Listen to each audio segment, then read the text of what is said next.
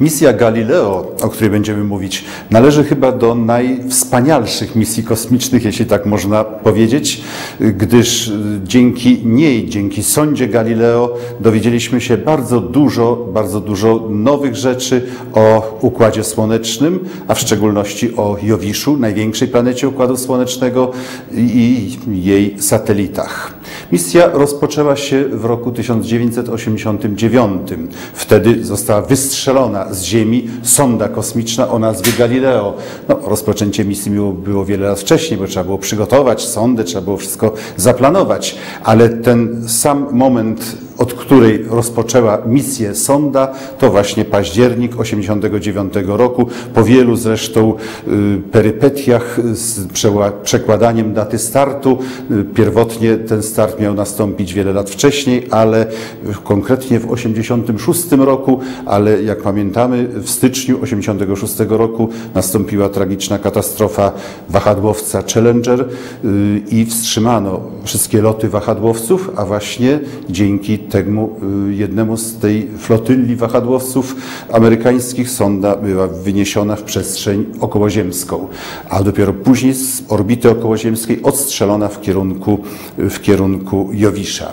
Y, to zdjęcie, które pokazuje, to jest właśnie moment startu. Wahadłowiec amerykański y, i te wielkie zbiorniki paliwa, ta wielka rakieta, która wynoszą z powierzchni Ziemi sondę kosmiczną Galileo, która tutaj w luku wahadłowca jest zamknięta, tam się znajduje.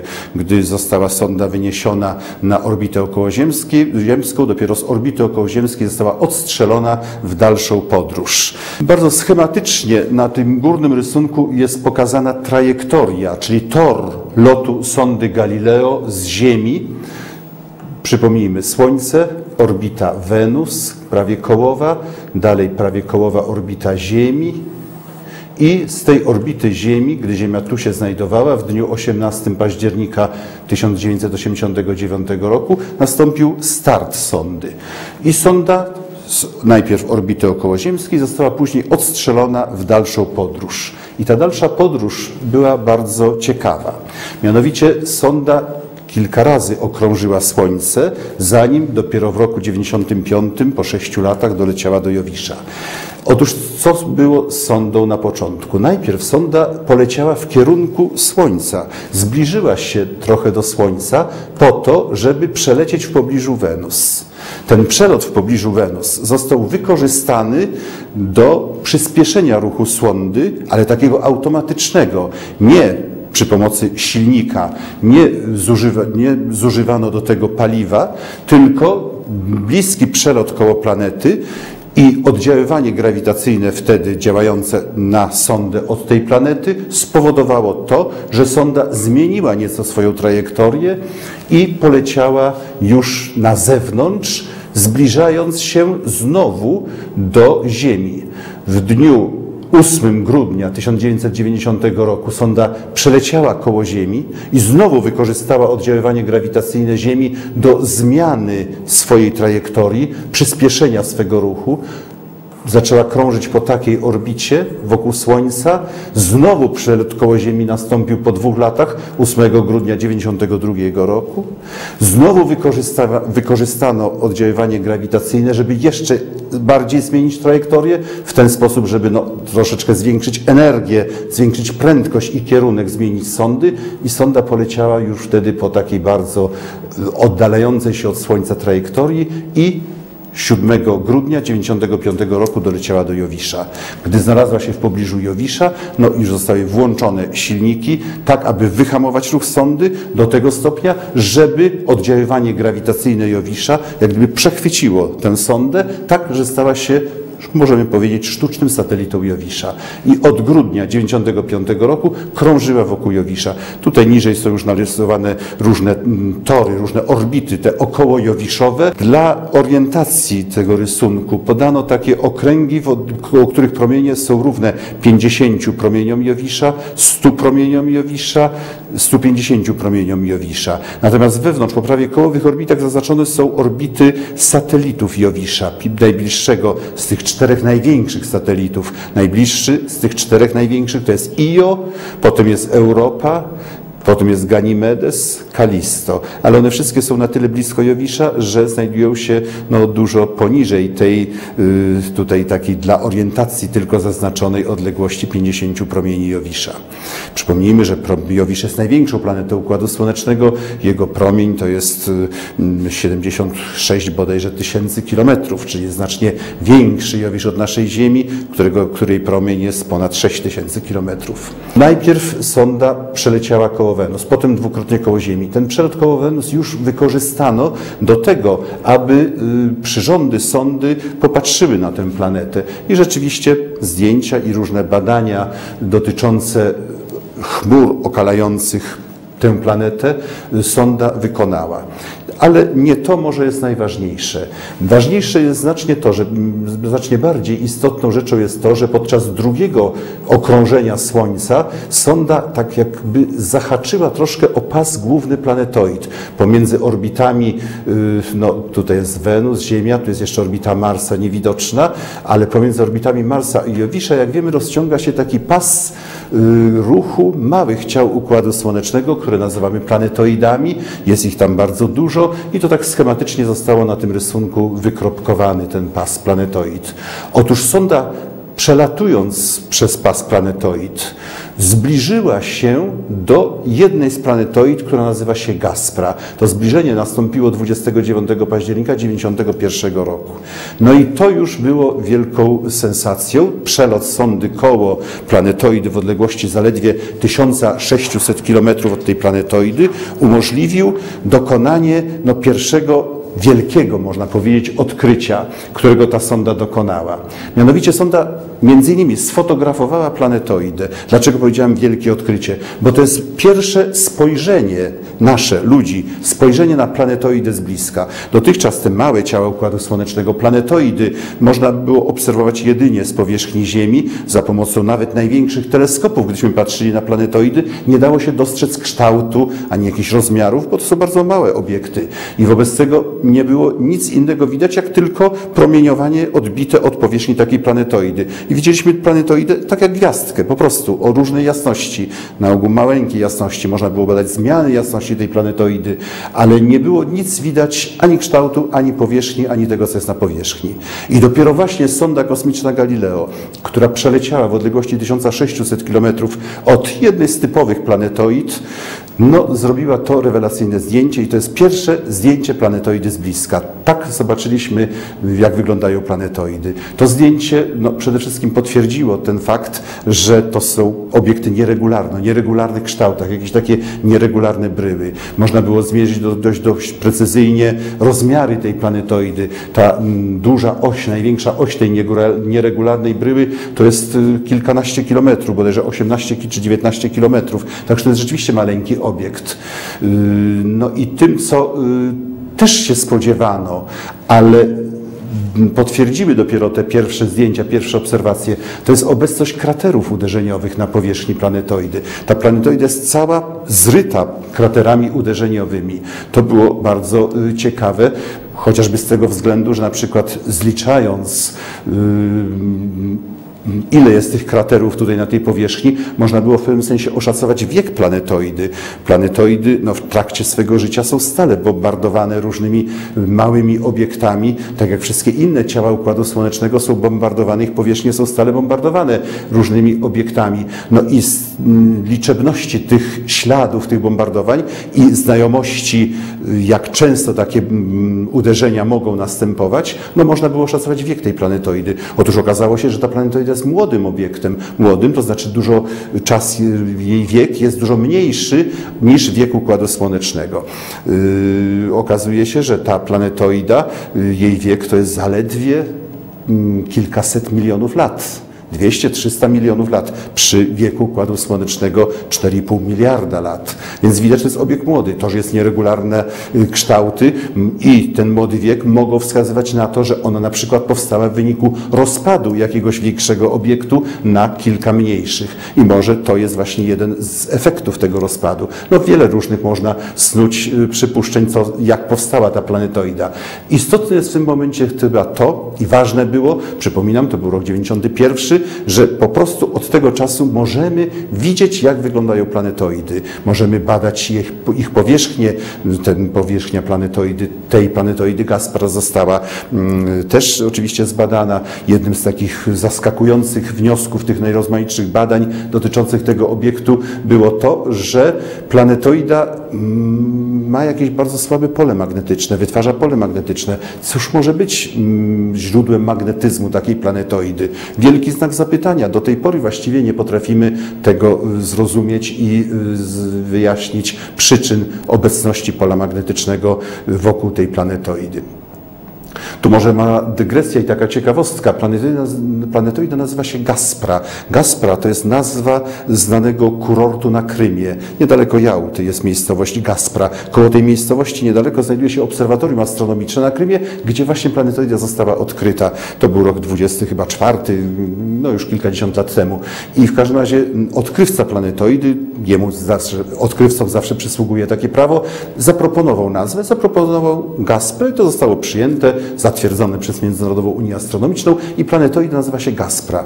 Później, gdy zrobiono zdjęcie planetoidy, te różne kratery, różne struktury powierzchni, starano się nadać im jakieś nazwy, no, pomyślano sobie, że można je nazywać nazwami innych różnych znanych kurortów na świecie.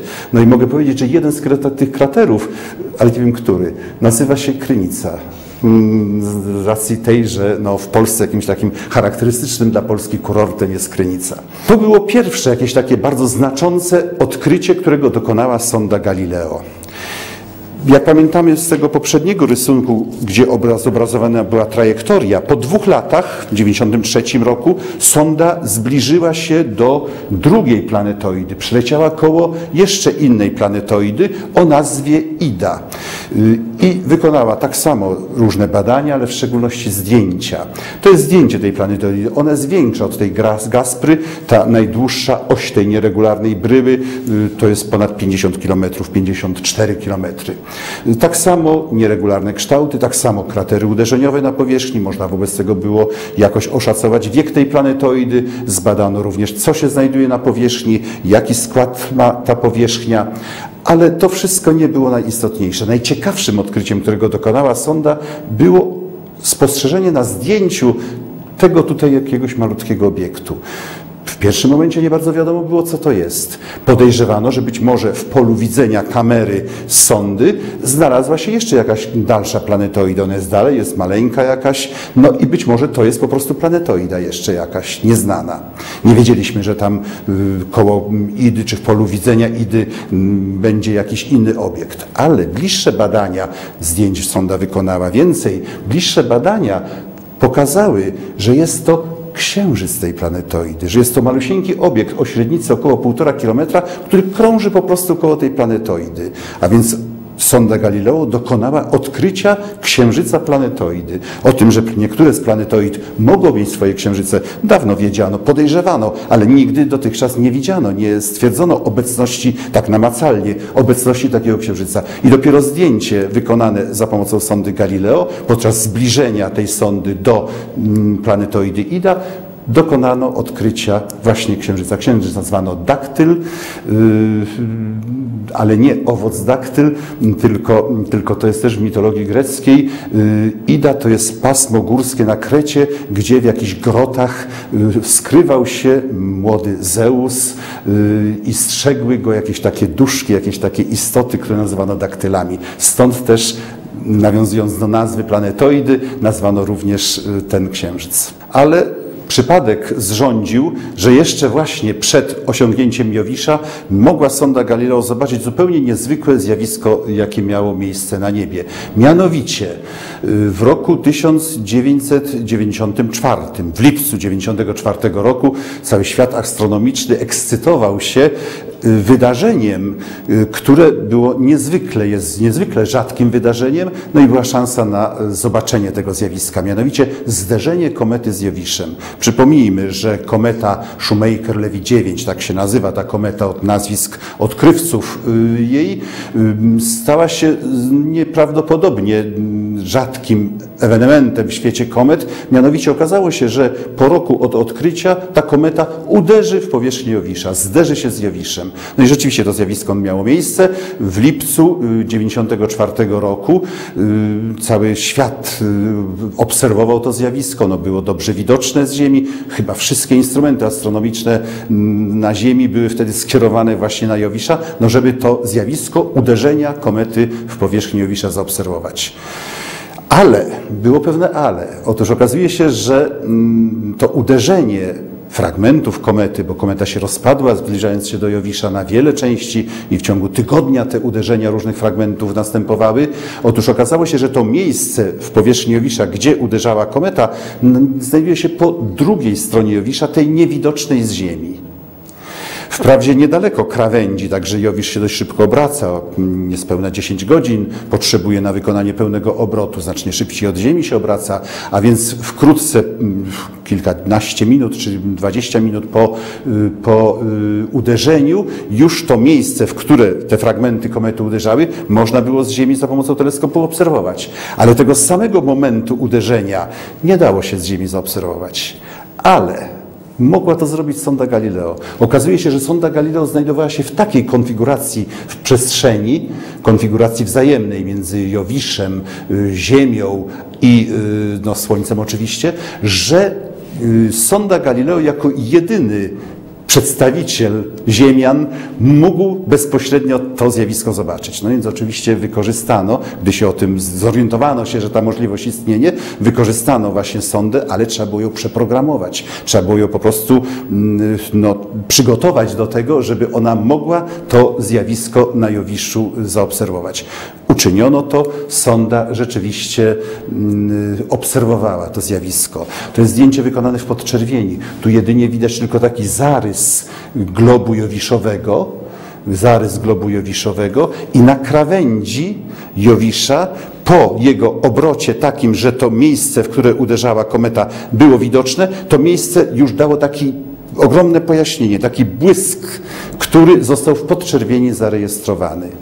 Później, gdy obserwowano już samego Jowisza, na jego powierzchni zaobserwowano wiele bardzo ciekawych struktur, które pojawiły się jako wynik, jako efekt tego właśnie wydarzenia. Wykonane zostało y, zdjęcia tego samego fragmentu, na którym widać właśnie takie plamy. I te plamy na powierzchni Jowisza to są efekty, to są rezultaty y, uderzeń fragmentów komety w powierzchnię tej planety. Mówię powierzchni, ale pamiętajmy, że tam nie ma stałej powierzchni. Jowisz nie ma stałej powierzchni. To są takie warstwy mm, gazowo-płynne, które w sposób ciągły atmosfera przechodzi w warstwy powierzchniowe. Y, na tym zdjęciu natomiast widać taki mm, błysk materii uniesionej samo uderzenie nastąpiło po niewidocznej, tej zasłoniętej tarczą Jowisza stronie planety. Natomiast w wyniku uderzenia bardzo dużo tej materii mm, gazowej, pyłowej uniosło się ponad powierzchnię i tak, że szczyt tej materii, która uniosła się ponad powierzchnię, został z Ziemi zaobserwowany. I to właśnie tutaj widać ten pierwszy, jakiś taka pierwsza oznaka tego, że rzeczywiście sonda, nie sonda, tylko y, fragment komety, jakiś bryłka jądra komety uderzyła w Jowisza. No a później takie różne plamy obserwowano. Ale to nie jest przedmiotem mm, tego y, wykładu. Tutaj mówimy tylko o tym, chcę zwrócić uwagę na ten fakt, że tym jedynym przyrządem który zbudował człowiek, który mógł dostrzec bezpośrednio moment uderzenia, była właśnie sonda Galileo. I rzeczywiście sonda Galileo wykonała te obserwacje.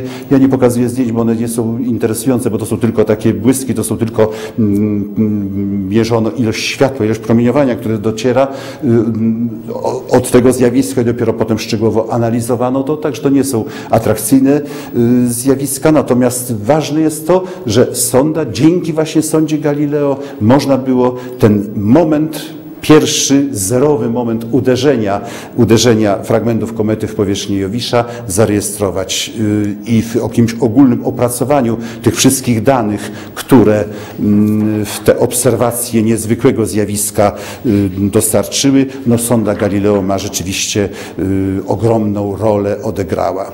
Na tej folii y, pokazuje już Jowisza, zdjęcie Jowisza, do którego sonda doleciała, jak wspomnieliśmy, w grudniu 1995 roku. Pierwszym badaniem, które sonda wykonała, gdy doleciała, było zrzucenie w te warstwy powierzchniowe Jowisza próbnika, który zanurzył się w warstwy powierzchniowe i strzałka oznacza miejsce, gdzie to zanurzenie się w atmosferze i warstwy powierzchniowej Jowisza nastąpiło. Tu ono nastąpiło troszkę y, z boku, pokazuje, pokazuje zdjęcia mm, już tego samego fragmentu, gdzie ten próbnik uderzył warstwy powierzchniowej Jowisza. Zdjęcia zostały wykonane w odstępie paru godzin.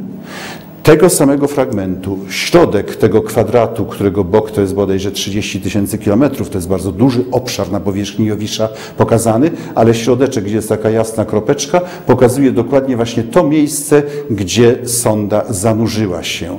Proszę zwrócić uwagę, że te struktury powierzchniowe w tym atmosferze i warstwach powierzchniowych Jowisza bardzo szybko ulegają zmianom. Tam ciągle coś się dzieje. Jowisz jest bardzo, y, takie dynamiczne procesy jakieś tam mają miejsce. Mm, coś się ciągle dzieje, zmienia.